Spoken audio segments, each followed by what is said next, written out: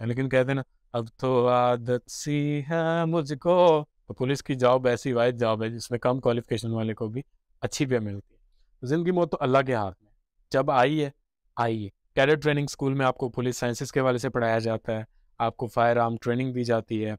आजा मेरे बाल माँ तेरा इंतज़ार इतना यहाँ का शफाफ निज़ाम है पुलिस का। फिर पूछते हैं हाँ भाई, शफीक मोहम्मद, दस कभी लाइफ च क्राइम की ही असलम दोस्तों this is me Numan Chaudhary welcome to my YouTube channel आज की इस वीडियो में हम बात करने वाले हैं कनेडियन पुलिस के हवाले से। दोस्तों, जब आप यहाँ पर आते हैं ना as a newcomer Canada के अंदर आते हैं तो आपको एक नए सिरे से शुरू करना पड़ता है मोस्ट ऑफ़ द केसेस और आपकी एक नई जिद्दोजहद होती है। और फिर इंसान सोचता है, यार कौन सा प्रोफेशन जो है उसको बनाया जाए? तो यहाँ पर जिसकी रिस्पेक्ट भी हो, जिसमें अर्निंग भी अच्छी हो, जिसके बेनिफिट्स भी अच्छे हों, और ऑब्वियसली जिसकी बेटेज भी हो। सो इसी तनाजुर में बहुत सारे लोगों की जो नज़रें हैं पुलिस की जानब चली जाते हैं, क्योंकि कनाडा के अंदर पुलिस काफ़ी प्रोफेशनल है।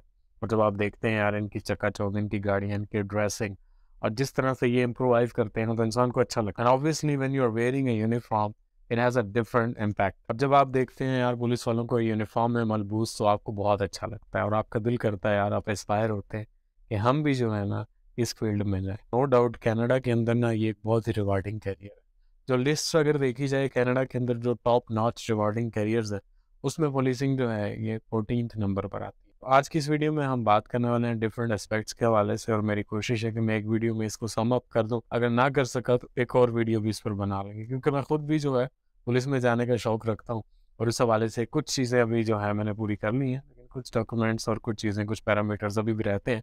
उसके लिए मुझे इंतज़ार करना पड़ेगा। तो मैंने कहा, चले, इस हवाले से भी जो मेरा शौक है, आपके साथ भी शेयर करते हैं, क्योंकि बहुत सारे लोगों का शौक होता है। सबसे पहले ना एक छोटी सी रिक्वायरमेंट मैं आपको बता देता हूँ, ये रिक्वायरमेंट बहुत बड़ी पुलिस में जाने के लिए आप जो है ना, या तो कैनेडा के सिटीज़न होने चाहिए, या यहाँ का आपके पास पीआर होना चाहिए पीआर स्टेटस होना चाहिए। इसके अलावा अगर आप वर्क परमिट पर हैं, या आप एज ए स्टूडेंट यहाँ पर मौजूद हैं तो आपको वेट करना पड़ेगा until you get your PR status सबसे पहले हम कनाडा के अंदर पुलिस के प्रिंसिपल्स के हवाले से बात करते हैं। यूनिवर्सल प्रिंसिपल है, सबसे पहले जी क्राइम प्रिवेंशन उसके बाद ना कैनेडियन पुलिस जो है ना, इनका कम्युनिटी प्रोजेक्ट्स में काफ़ी रोल होता है, ठीक है? जो कम्युनिटी के इवेंट्स होते हैं या इस तरह की जो चीज़ें होती हैं गेट टुगेदर होता है या अवेयरनेस होता है तो क्राइम स्टॉपिंग के साथ साथ क्राइम प्रिवेंशन के साथ साथ इनका जो सोशल वर्क है, उसका दायरा कार भी काफ़ी वसी है और इसी वजह से ना ये पुलिस जो है, काफ़ी इंसान दोस्त है, काफ़ी फ्रेंडली और इसके साथ साथ डिफरेंट प्रोजेक्ट्स होते हैं लाइक सर्विलेंस तो सबसे बड़ा एडवांटेज जो मैं पर्सनली समझता हूँ ना कि जब आप यहाँ पर आए देखिए हम नहीं और आपको शौक भी है पुलिस में जाने का। तो ज़रूर इसको अडेप्ट करें। क्यों? तो इसके लिए कोई लंबी चौड़ी रिक्वायरमेंट नहीं होती। आपके पास जो है ना मोस्ट ऑफ़ द केसेस में हाई स्कूल का डिप्लोमा होना चाहिए कनाडा के अंदर।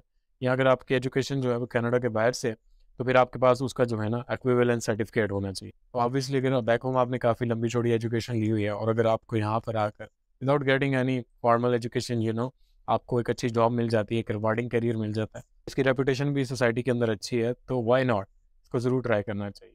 लेकिन इसके अलावा भी वो कहते हैं ना, सोने पे सुहागर डालने के लिए, यानी कि उसको मीठा करने के लिए जो है ना, अगर आप यहाँ पर पुलिस की एजुकेशन ले लेते हैं, लाइक आप पुलिस फाउंडेशन का कोर्स कर लेते हैं या डिफरेंट जो क्रिमिनोलॉजी के कोर्सेज हैं, वो कर लेते हैं या पुलिस से रिलेटेड सर्टिफिकेशन कर लेते हैं तो वो जो आपकी एप्लीकेशन होती है ना, उसके अप्रूवल के चांसेस उससे मजीद बढ़ जाते हैं। और इसके साथ साथ जब एज एन ऑफिसर आप अपना करियर स्टार्ट करते हैं तो आपकी तरक्की के चांसेस भी बढ़ जाते हैं। यानी कि अगर आपके पास पुलिस से रिलेटेड सर्टिफिकेशन है कोर्सेज हैं तो आपके प्रमोशन के चांसेस ज़्यादा होते हैं। ऐसे लोगों के मुकाबले में, जिन्होंने सिर्फ़ हाई स्कूल डिप्लोमा करके पुलिस ज्वाइन की होती है। तो ये पहला स्टेप होता है पुलिस की जानब कि आपने जो है एजुकेशन लेनी है एटलीस्ट हाई स्कूल आपके पास होना चाहिए, या पुलिस से रिलेटेड जो भी कोर्सेज हैं, वो अगर आपने किए हों तो आपके लिए बहुत ज़्यादा बेनिफिशियल हो।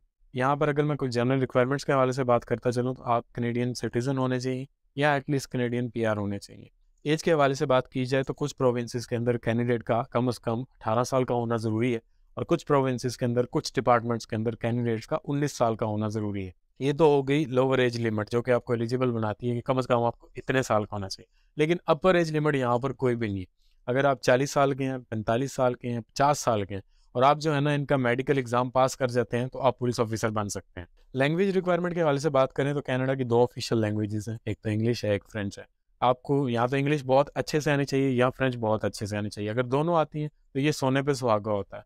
लेकिन इसको ये बहुत ज़्यादा वेटेज दी जाती है। अगर आपकी कम्युनिकेशन अच्छी नहीं है तो उसको बिल्डअप करें, फिर आप जो है ना इसके लिए अप्लाई करें। आपके बाकी स्टैंडर्ड्स बहुत आई हैं, लेकिन आपकी कम्युनिकेशन अच्छी नहीं है आप इस जॉब के लिए फिट नहीं है, क्योंकि पुलिस की जो जॉब है ना, इसमें कम्युनिकेशन बहुत ज़्यादा मैटर करती है। उसके बाद आता है जी, आपकी फ़िज़िकल जो फिटनेस है ना, वो भी अच्छी होनी चाहिए।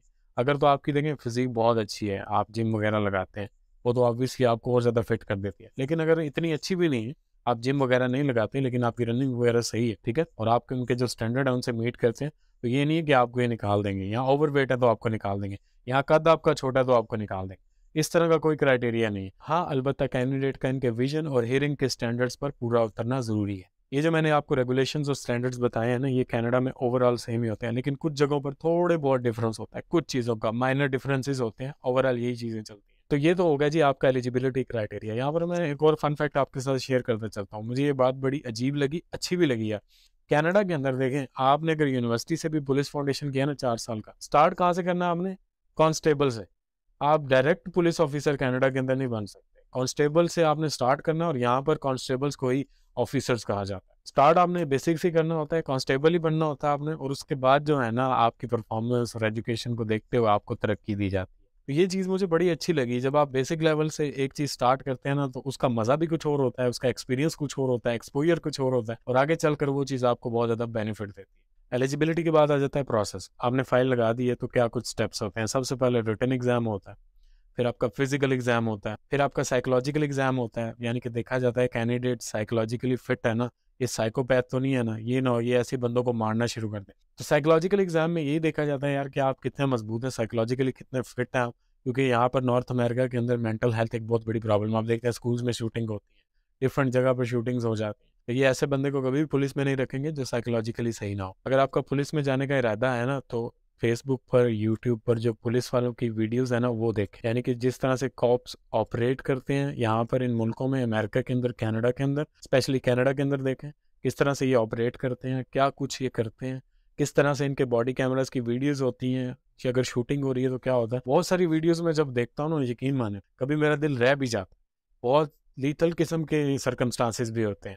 कुछ वीडियोस में देखता हूँ तो यार बूस्ट बूस्टअप होता हूँ ठीक है? तो आप वीडियोस देखें, पुलिस की वीडियोस देखें, क्योंकि ये तो पब्लिक कर देते हैं वीडियोस इतना यहाँ का शफाफ निज़ाम है पुलिस का। आप देखें वो वीडियो सोशल मीडिया प्लेटफॉर्म्स पर आपको अंदाज़ा होगा कि यार मुझे पुलिस में जाना चाहिए या नहीं। बहुत सारी हेल्प मिलती है यार कि आपको बींग पुलिस ऑफिसर क्या कुछ सहना पड़ता है?